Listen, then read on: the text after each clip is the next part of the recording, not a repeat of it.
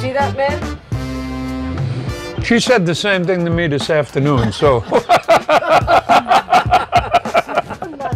Oh, you see that man? I love that I man. I love that that man. man. Make up your fucking mind over here.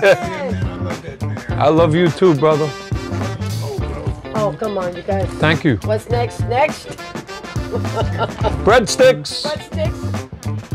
How do you guys do that?